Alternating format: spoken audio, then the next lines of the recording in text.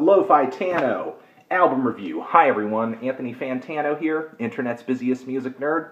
Want to do a really quick, fast, and dirty review of this um, new CD compilation album that I have a copy of in my hands. It's a various artists compilation from Coalmine Records. Unearthed has over 20 tracks on it. Coalmine Records is a uh, New York-based record label. They've been around since the mid-2000s, and they're essentially celebrating their 10-year anniversary with this compilation.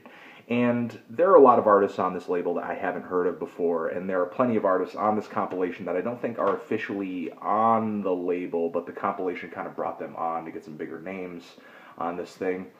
Regardless of who is and who isn't on the compilation, what has and what hasn't come out on the label, this compilation is a party.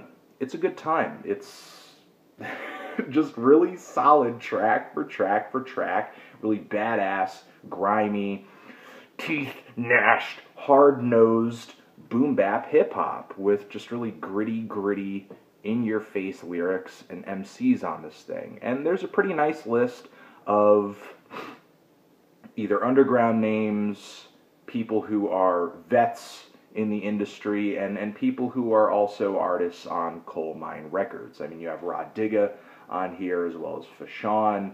There's Apathy and Celph Titled on here. Rex, Pharoahe Monch is on a track. Blu is on a few tracks. Even people that I'm not totally crazy about because I think their lyricism tends to run a little predictable, like Guilty Simpson and Sean Price. Even they are on the, their best behavior and draw up some decent tracks on this comp. And the beats, for the most part, are really good.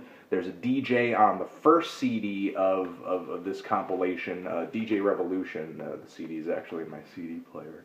And um, he brings all the tracks together really nicely. There's some interludes, you know, where he's kind of cutting one track into another. And on the second CD, we essentially have like, you know, the, the, the no DJ version, untagged, untagged deluxe version of, uh, of, of the compilation. Um, but the first CD, which I have been listening to primarily, I haven't listened to the second CD all the way through yet, but the first CD is, is really the cool, holistic, you know, one track segueing straight into another kind of experience.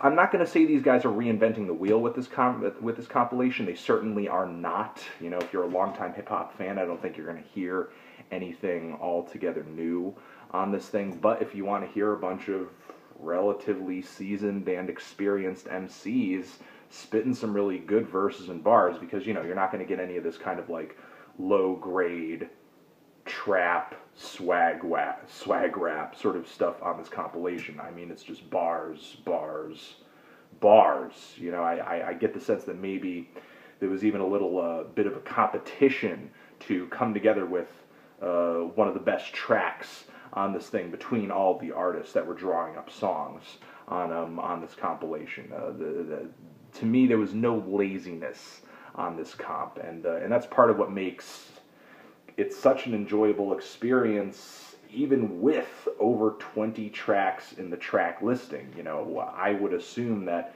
any hip hop compilation with this many songs on it would have at least several awful tracks in the track listing and that just that just didn't end up being the case that just did not end up being the case um, i'm going to give you guys a link down in the description where you can hear this compilation Again, not reinventing the wheel or anything like that, but if you're looking for some solid boom bap, some solid New York flavor in a hip hop compilation with plenty of songs on it, then hit that link, give this thing a listen, and tell me what you think. All right? Cool. That was the review. Anthony Fantano. Do you love this thing? Do you hate this thing? Why? What do you think I should review next? And that's it.